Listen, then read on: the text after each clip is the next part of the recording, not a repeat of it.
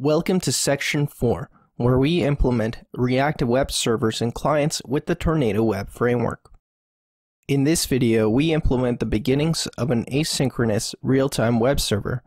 Let's begin. To begin creating a web server with Tornado, we're going to need to import a few things. We're going to need to import the IO loop, which will be used for our scheduler. And then we need to import the application, which will be used to create our web server. And we also need the request handler to handle regular HTTP requests. And then we are also going to be using WebSockets. So we need to import the WebSocket handler. So let's begin by creating a regular request handler. And we'll call it main handler. And it's a subclass of request handler. And it responds to a GET request and it will write hello stock exchange. So we're going to continue with our previous code and create this server for the stock exchange application. And now that we have this main handler, if you hit this handler, it will write hello stock exchange. And in contrast, we're going to have the exchange handler.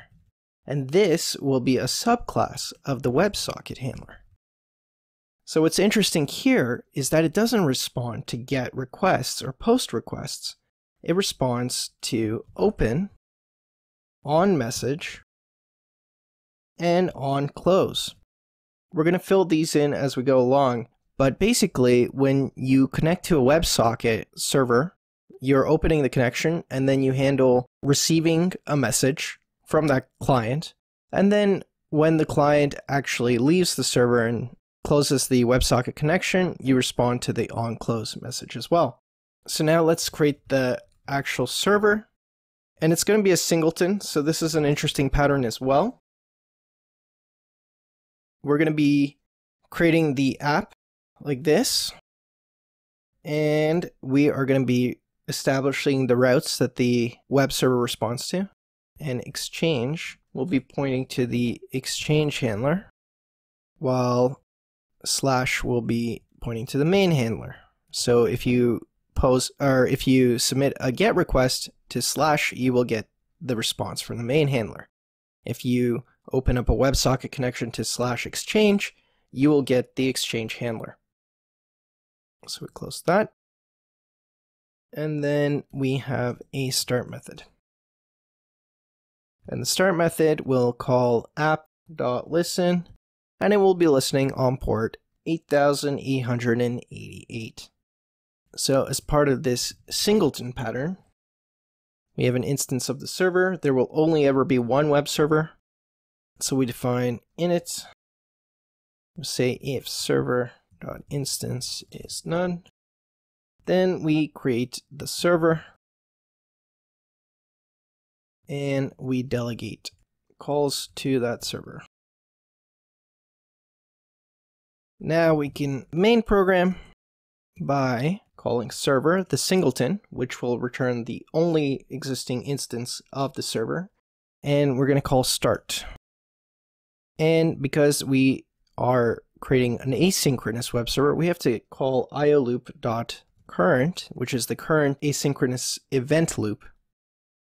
And then we call start on that as well, so it can begin processing requests.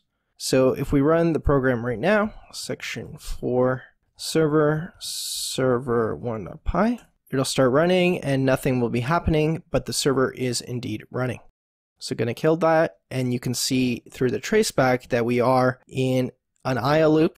It's the current one that we started in line 41 of our code so far. And it's supposed to run forever because that's how Tornado wants things to work and it processes whatever events are coming in. So whatever requests happen to hit the server, they are handled through the main handler or through the exchange handler. So what we want in this server, especially in the exchange server, is to be able to process messages. So this is a stock exchange. We're going to be sending data about the latest prices of the stocks. And we're also going to be waiting for new orders to come in from different clients.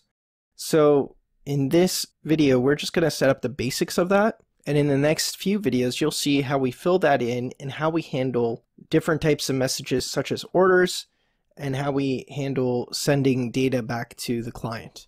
So we want a way to bridge the asynchronous messages received in Tornado to RxPy. So we import an observable from Rx and we import subject. So you'll note we use subject quite a lot because we have this custom bridging that's happening. So we're in the previous section, we looked at how we could bridge Qt callbacks, GUI callbacks, and make them more reactive. In this case, we are doing the same thing, but with Tornado instead. So we're bridging the gap and taking different callbacks and turning them into reactive observables through the subject class. So when a connection is open, we're going to grab the server and we're going to have a stream for all messages and we're going to pass in a new value and it's going to say a connection has been opened. So we're just going to pass in the whole request so you can get the IP address and the method that was used and everything else. And then when there's a message received, we're going to do the same thing. We're going to say grab the one instance of the server and pass in a value and say message. And that is the message that was received. And the same thing whenever the client closes the connection. And we're just passing in values and we're passing in closed with the request itself. So if you are connecting from different IP addresses, the open message will be opened plus the request, which will contain the IP address of 127.0.0.1.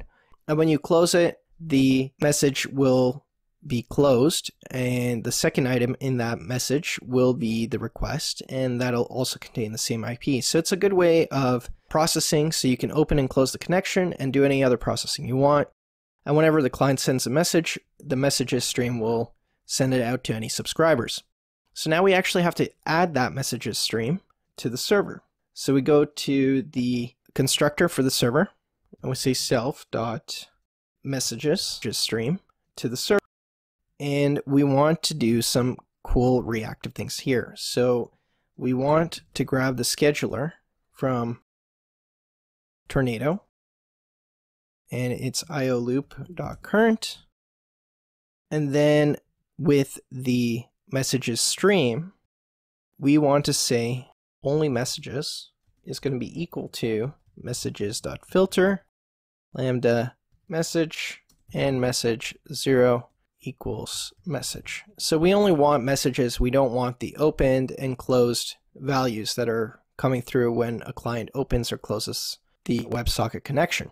On top of that, we want to remove that first value, the message value. So we use map. I'm going to clean this up a little bit here. And we see lambda message and message one. So the second item. And then we say dot publish.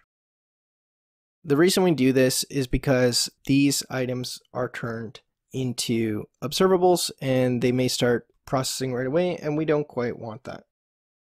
So we're going to do only messages dot subscribe lambda message print message for now and then only messages will connect and that'll be that for setting up the messages stream. So the messages subject will get three types of messages, opened, message, and closed. And then only messages will be a filter on that subject, and it will filter out anything that is not equal to message. So we will only get one type of message through, message. And then we're going to map that so that we only get the message itself, the payload itself, and then we are just going to print it out for now. In a later section, we will be checking if it's an order message or if it's something else, or if it's a request for an update to stock prices or anything else, and then we'll be sending a response based on that. But for now, we're just printing out what's going on, and we actually need to import from Rx concurrency, we need to import the IO loop scheduler. So this will hook the reactive RxPy library the scheduler into the Tornado scheduler. It'll actually use the Tornado Web Framework scheduler for scheduling asynchronous actions and observables. I'm going to go back to main And before we actually start any processing, we want a little bit more information about what's going on. So we're going to subscribe to messages here. And we're going to print out message.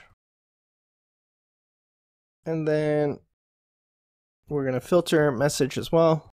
And we're going to look only for open messages.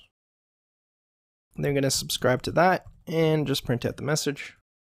Connection has been opened.